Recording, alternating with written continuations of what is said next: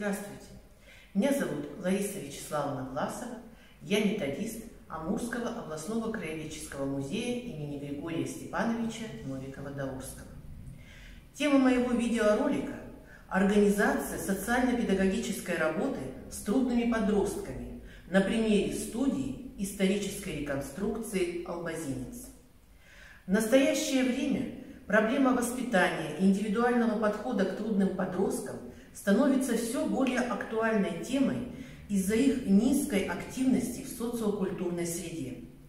Решение проблемы можно найти при помощи новых форм и методов социокультурных, социокультурной работы в учреждениях культуры. В зависимости от уровня учреждения культуры э, появляются и новые формы работы. Так, например, заинтересовать подростка в деятельности музея можно не только через экскурсию, но и через создание исторического клуба реконструкции. В Амурском областном краеведческом музее имени Григория Степановича Новикова-Даурского с 1 августа 2018 года стартовал грантовый проект, финансируемый Фондом поддержки детей, попавших в трудную жизненную ситуацию. В рамках проекта для подростков была создана студия исторической реконструкции «Албазинец». Цель создания студии – это социальная реабилитация несовершеннолетних правонарушителей, предупреждение преступности и правонарушений среди несовершеннолетних посредством организации и продуктивной социально значимой деятельности. За время деятельности студии исторической реконструкции Студию посетили 32 подростка.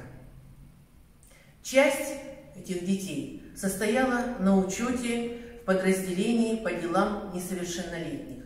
Часть состояла на внутришкольном и внутриклассном контроле. В программу студии входили мероприятия по изучению средневековой истории Преамурья, Албазинский острог и Албазинское воеводство XVII века. Это интерактивные экскурсии, квесты. Албазин – древняя столица Преамурья, герой Албазина, потомки Гантимура, православная святыня края, Зипун Сорока и не только, амурский иконописец, как казаки в Остроге жили. Особое место в программе студии было отведено историческим мастер-классом. Дети учились овладевать техникой средневекового боя, плели кольчуги и стреляли из лука, знакомились с историей средневековых доспехов и учились шить средневековый кошелек. Работали на кузне, метали копья и арбалеты учились писать на восковых дощечках. Кроме экскурсий и мастер-классов, в программу студии вошла постановка мини-спектакля «Сказ о доблестном албазинском казаке Федоре Апарине о землях дальних и народах малых». Всего за время посещения студии исторической реконструкции подростки показали 7 мини-спектаклей, в том числе в школе села Албазино.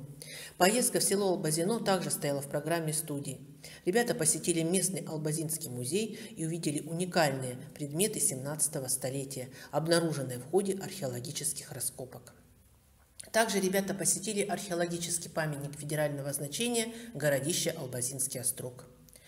Во время посещения студии исторической реконструкции ребята приняли участие в 11-м городском фестивале «Театральный Благовещенск», посвященный Году театра в России, где показали спектакль «Сказ о доблестном казаке Федоре Апарине о землях дальних и народах малых».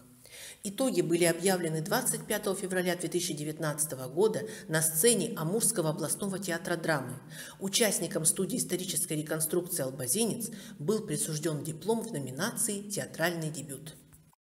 За время посещения студии исторической реконструкции у подростков развились такие ценностные черты личности, как коммуникабельность, общительность, ответственность, самостоятельность принятия решений – один из важных показателей работы студии исторической реконструкции стало снятие 18 человек с внутришкольного и внутриклассного учета. Таким образом, можно отметить, что помощь в социализации, эрудированности, обучение творческим навыкам трудных подростков в учреждениях культуры будет проходить успешно, если найти индивидуальный подход к каждому ребенку.